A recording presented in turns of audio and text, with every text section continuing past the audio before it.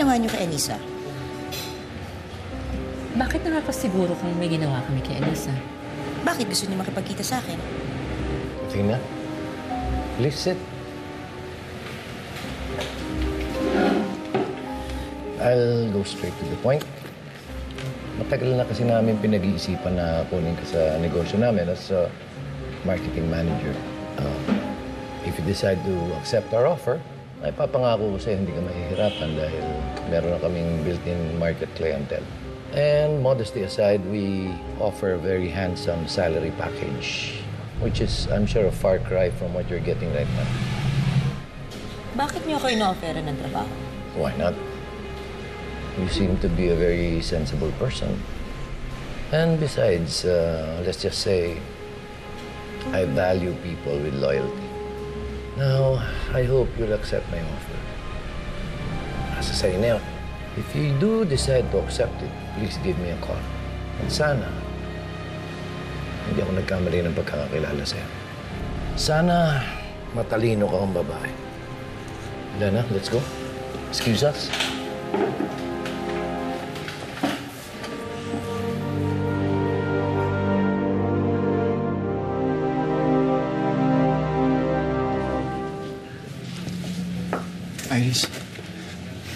Pwede ba tayo mag-usap?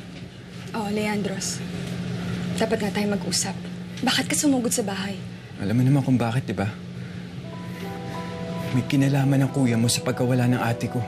May patunay ka ba? Sino pa bang pwedeng gumawa sa kanila nito? Iris, baka naman may nalalaman ka. Baka naman may nalalaman kang pwedeng makatulong sa amin. Leandros, pamilya ko yung pinag-uusapan natin dito. Bakit mo ko kailangan dalhin sa ganitong sitwasyon? Dapat kinausap mo muna ako bago ka sumugod sa bahay. Pamilya ko yung pinagbibintangan mo. Ano bang gusto mong sabihin ko? Na magpasalamat ako dahil hindi ako pinakulong ng tatay mo? Hoy, anong problema mo, ha? Iris, ginugulo ka ba niyan? Victor, please. This is between Leandros and me. Hindi. Please! Huwag ka mag-alala, pare. Hindi hindi ko naguguluhin si Iris.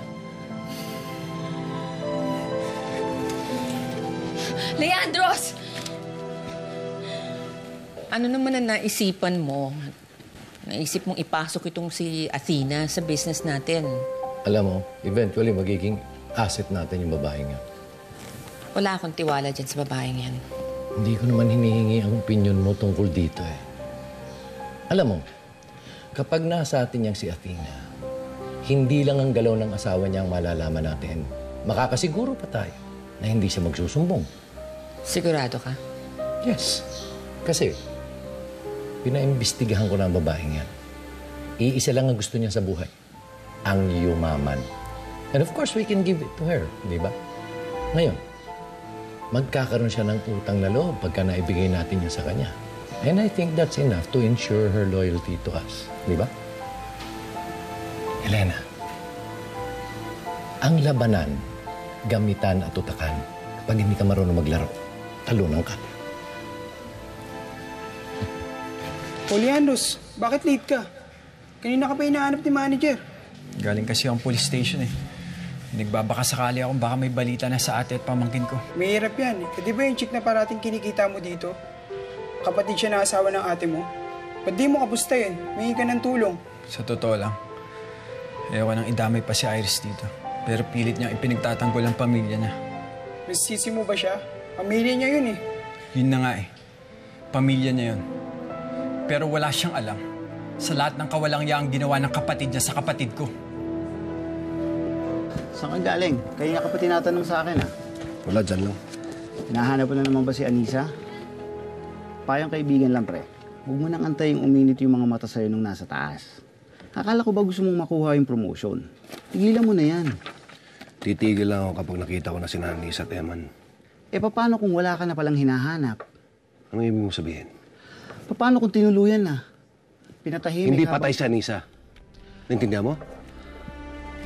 Malakas ang kutob ko, buhay ang mag-ina. At kahit anong mangyari, hahanapin ko sila dahil alam ko buhay pa sila. Okay, okay. Kalma lang. Like this place. napaka-homey ng dating niya, no?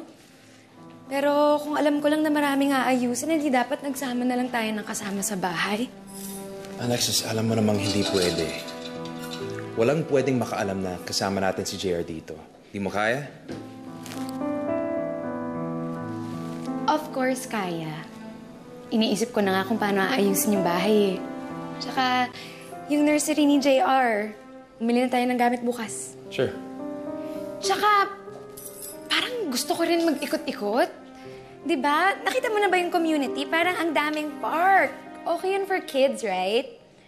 Tsaka pwede na rin tayo maghanap ng daycare para kay JR. Daycare. Hmm. Hindi magda-daycare si JR. Ako lang mag-alaga sa kanya. Ano ka ba naman, Eros? Tayo ang mag-aalaga sa kanya. Di ba sinabi ko naman sa'yo, willing akong maging mommy ng baby mo. Hindi ikaw ang asawa ko, Alexis. I'm just sticking to the plan, Eros. Maka-move on din tayong lahat. At magiging isang masayang pamilya na rin tayo balang araw.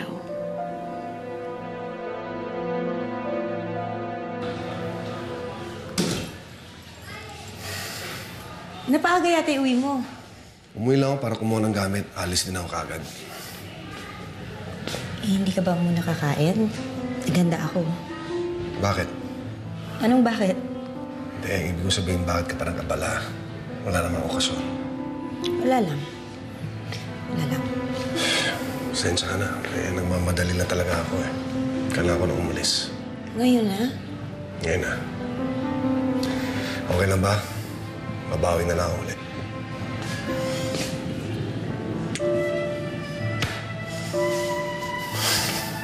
Ah, Eros, pakibaba naman yung mga bag sa kwarto. Eros, tulungan mo naman ako. Kasi kung ako lang gagalaw dito, wala, one week bago tayo makapag-settle. Huwag kang maingay. Hirapan akong patulugin si Emma. Eros, Uunahin ko ang anak ko. Sige, ako natatapos nito. Uunahin ko na yung kwarto ng bata.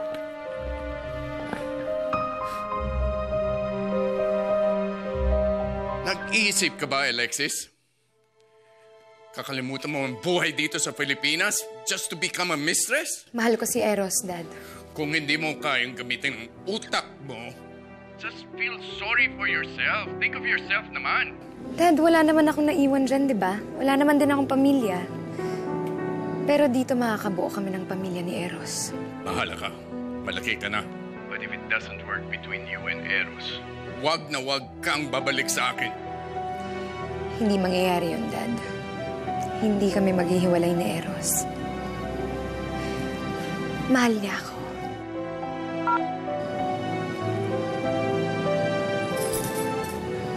Eh, talagang tempting yung offer nila.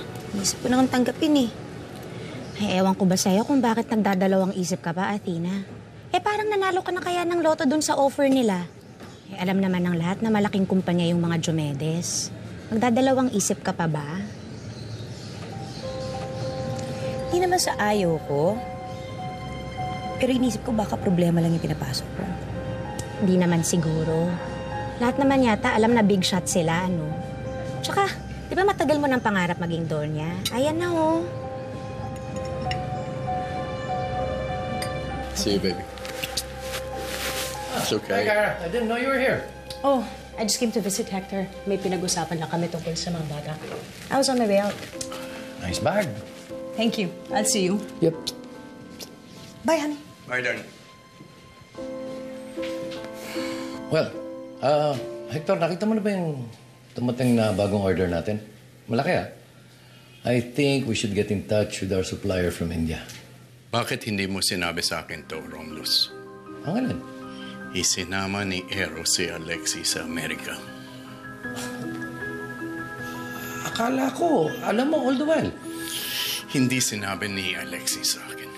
Well, apparently, maraming bagay na hindi sinasabi sa'yo ang anak mo. What do you mean? Hector, aminin mo. Napabayaan mo rin si Alexis eh. Can't you see? They're good for each other. Di okay sa'yo maging kabit siya. Hindi mali na magsama yung dalawa sa Amerika. Ang pinakamalaking pagkakamali ay yung ginawa ni Eros na pinakasalan niya yung mag-aasin na yun.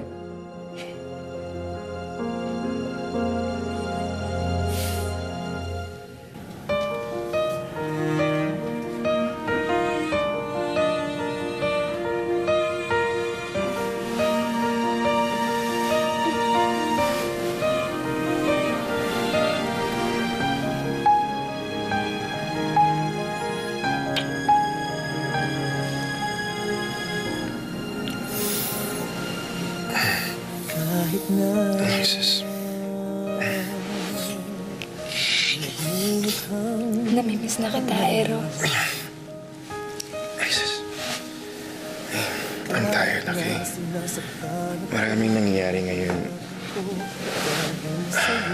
Pagod lang ako. Ha? Dati naman kahit pagod ka eh. Ah, dati yun. Wala naman tayo sa Pilipinas. At ngayon, nag-aayos tayo ng bahay. Ako naman, inaalagaan ko si JR. Kailangan ko ng tulong, okay? Just let me sleep. Hindi ako Alexis, halika na. Yap, sandali lang. Alexis, let's go. Pupunta lang naman tayo sa mall. Okay. Let's go. Yun ang suot mo? Ganito naman talaga ako magdamit. Magmamall lang tayo. Eh, may kasama tayong bata. Paano kung kailangan mong buhatin si JR? Sana maising suot mo. Kahit yung makeup mo, masana makapal. Nakilala mo naman akong ganito ah. Alam mo, Alexis, bakit hindi ka pwedeng maging... simple lang? Like Anisa?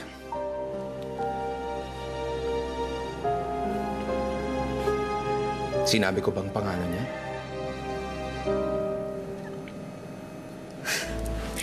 Yeah, you're right, you're right. Um, magpapalit lang ako.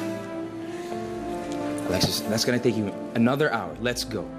No, no, it, it'll take me like five minutes. Nay. Gandang gabi ho. Kaawaan ka ng Diyos. Kanina pa daw kayo naandito ah. Napagod lang ako. Buong araw ko kasi hinahanap si Anisa at Eman. Nak, pasensya na ha. Naubos ko yung perang binigay mo sa akin. Paserox kasi ako eh. Nay, halika na. Kailangan mo na magpahinga. Inaabangan ko si Anisa eh. Baka sakaling maisip niya na umuwi dito. Nay, isang buwan nang nawawala si ate. Kaya baka dapat tanggapin na natin... Babalik ang ate mo, Leandros. Kilala ko siya. Hindi siya basta-basta mawawala ng ganyan.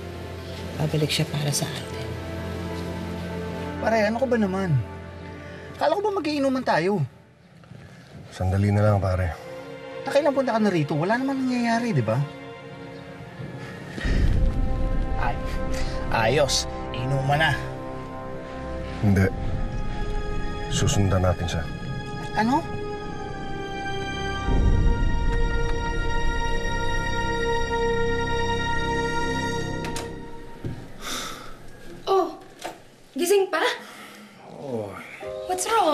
Ko alam.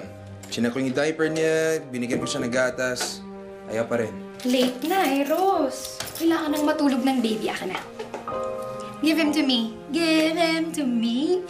Oh, hello. Naku, baby, matulog na tayo, ha? You have to sleep.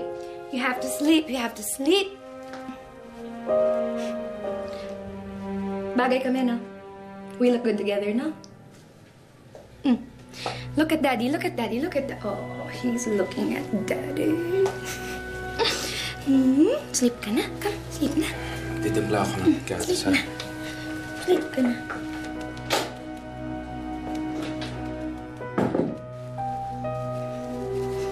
Alam mo, believe it or not, kahit anak ka pa ng Anisa na yan, I like you. Young man. Kasi ikaw ang bubuo ng pamilya namin ni Eros. Yung pamilyang pinapangarap namin. Tsaka alam mo, in time, tatanggapin naman ng daddy mo yun eh. Na tayo na ang pamilya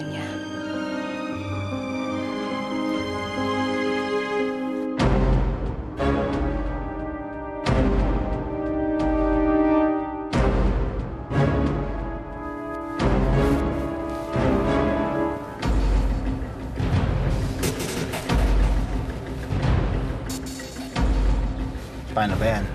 Negative. Sa tingin mo ba hindi natin kaya pumasok dyan?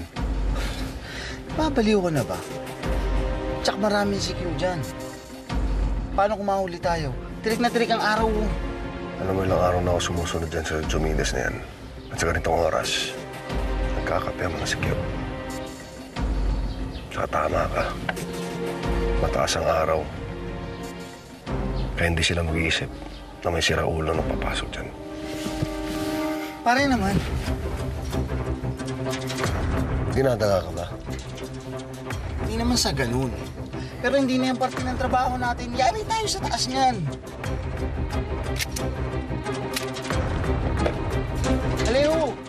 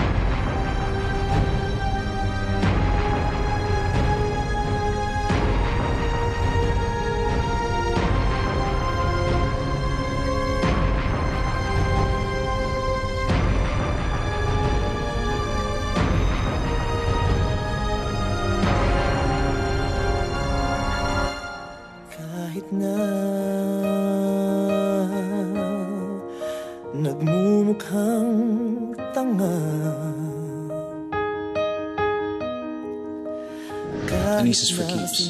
Kahit 70-30 na lang. 70 si Anisa, 30 ako. Happy na ako dun.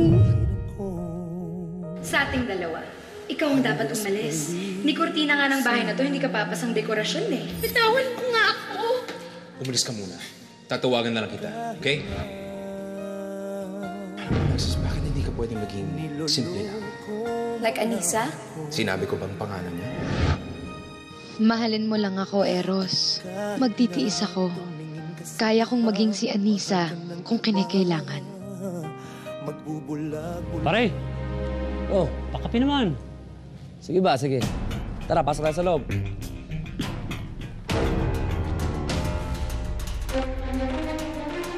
Kailangan isa-isahin ko ang kwarto ng bahay. Kailangan ko ng ebidensya na hawak nila si Anissa at Eman. Siyempre, ako nagtimpla niyan. Gustuhan mo? Oo naman. Susunod, sige.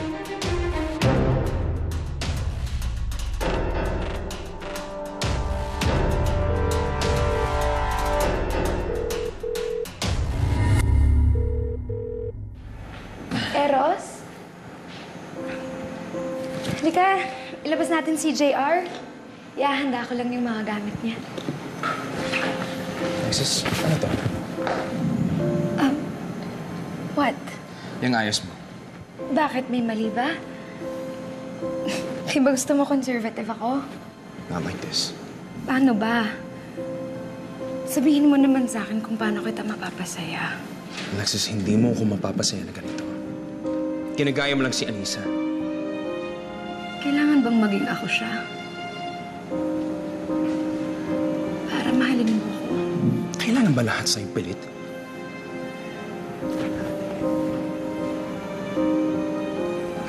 Sige, kung ayaw mong lumabas, dito na lang tayo. Luluto na lang ako.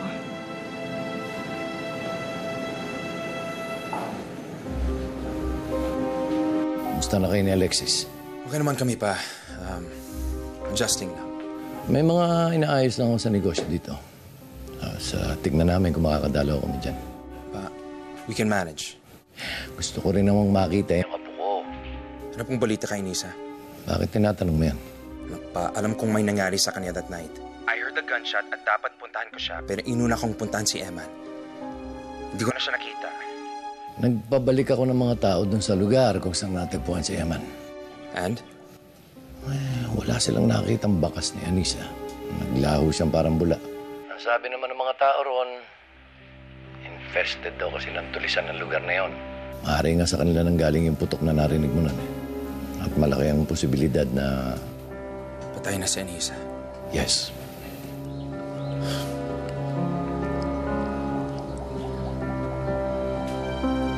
Kung ganun, ibig sabihin na hindi na kami kailangan magtagal dito. Pwede na kami bumalik sa Pilipinas. No, no, Eros. Ah, hindi kayo pwedeng umuwi. Hindi lang si Anisa ang naghahanap doon sa bata. Pati yung buong pamilya niya. At pati yung apostol na yun. Ginugulo tayo. Kapag ka naalaman nila na nasa iyo yung bata, natural lang na ikaw ang pagbibintangan nila sa pagkawala ni Anisa. Kaya mas makabubutin dyan na muna kayo. Mas ligtas kayo dyan. Okay?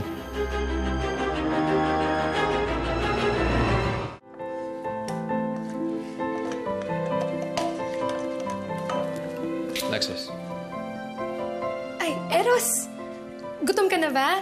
Sandali na lang to, ah. Alexis, we need to talk. Hmm. Ito na. Alexis. Halika na, tikman mo to. Tingnan mo, ah. Sarap to, eh. Hmm. Tikim ka? Sige na, tikman mo na. Ano, masarap? Alexis, this isn't working. Baka kulang lang sa soy sauce. Dadagdagan ko lang. Mabilis lang, mabilis lang to. Dadagdagan ko na lang ng toyo. To, konti lang Alexis. ito na.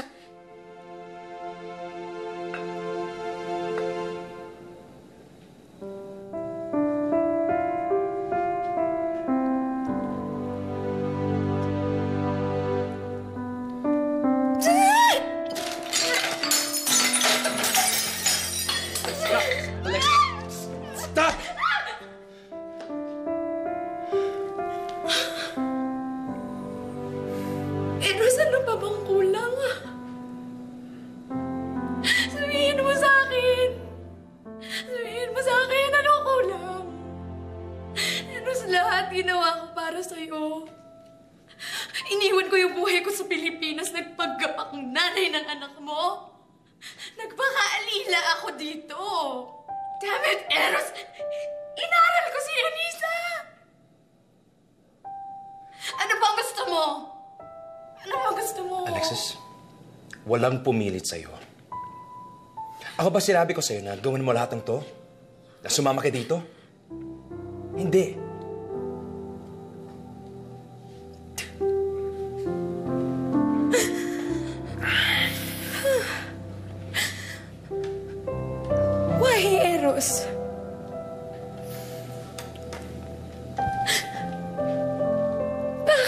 Napakahirap para sa yung mahalin ako? Alexis, mahal kita. Pero hindi sa parang gusto mo. Kinalimutan kong tao ako. Dahil sa pagmamahal ko sa'yo. Eros, kailangan pa buong buhay ko. Manilimos ako. Alexis, alam mo kung pinasok mo? Kahit kailan, wala akong tinago sa'yo. Alam mo lahat sa akin. At alam mo kung anong klaseng tao ako. At tinanggap ko yun. Tinanggap ko yun ng buong buo. Salamat. Alexis, naging mabuti kang kaibigan sa akin. Ikaw ang naging daan para makasama kong anak ko dito. Pero hindi ko kayang ibigay yung gusto mo.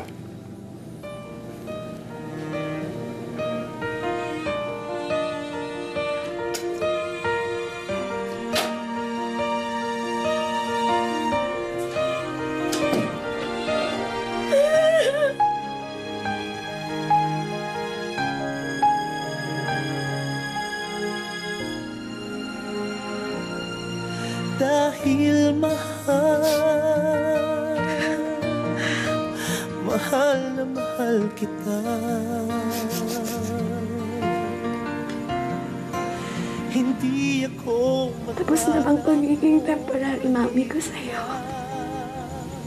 Maraming salamat ha. Ay dahil sa'yo naramdaman ko rin na may pamilya ko. Kahit konting panahon lang naramdaman ko na mahal ako ng tatay mo.